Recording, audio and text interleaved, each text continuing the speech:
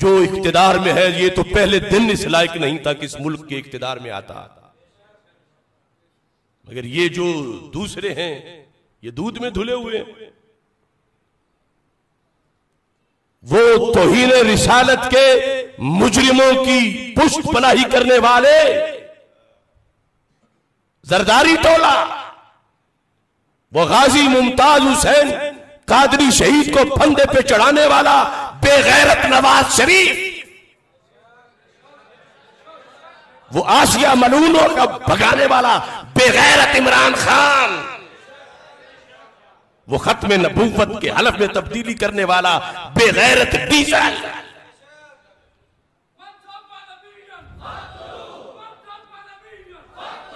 इनमें कौन है? कौन है जो हकदार हो? इस मुकद्दस मुल्क के ईमान में बैठने का। ये बेड़ियों, बकरियों, भेड़ों, बकरों की, बकरियों की तरफ़ बिकने वाले। ये अवामी नुमाइंदे हैं। जिधर कोई बोली लगाता है, उधर ही चले जाते हैं। मेरा मुतालबा है, मुल्क के मुक्तदर इदारों से इन सबको ईवान से दफ़ा किया जाए। इनमें कोई भी ऐसा नहीं कि जो इस मुल्क की हुक्मरानी के काबिल हो। अपने अपने वक्त के ये सारे फिरान हैं, सारे यजीद हैं, अमेरिका की कठपुतलियाँ हैं,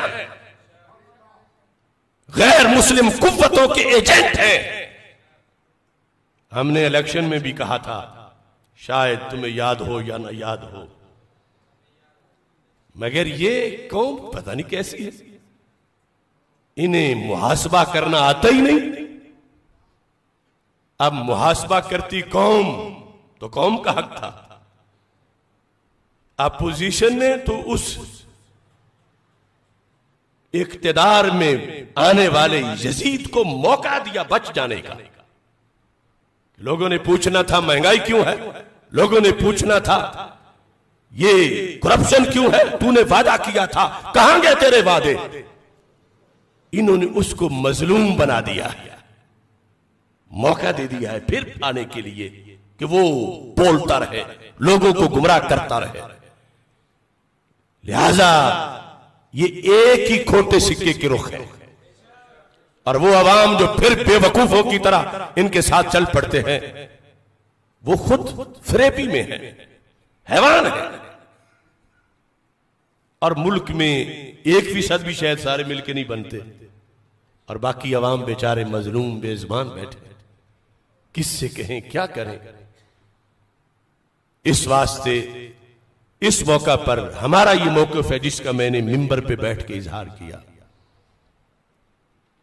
और ये भागता हुआ हुक्मरान, इसने उलमाए हक को हज़ारों की तादाद में गिरफ़्तार करके जेलों में डाला।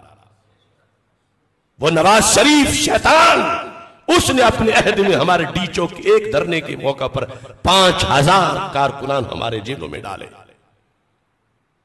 लब्बैक पर पाबंदियाँ लगाने वाले, चश्मे फलक ने देखा बैत हो रहे। हम पे पहरे लगाने वाले।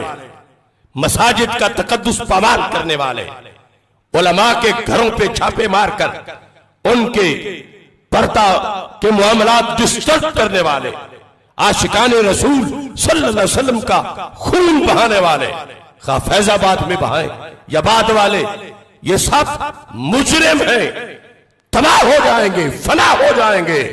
लब्बैक या रसूल अल्लाह का नारा फिर भी गूंजता रहेगा।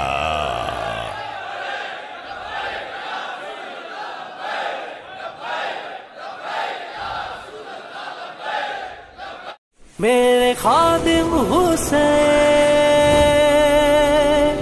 मेरे खादिम हुसैन।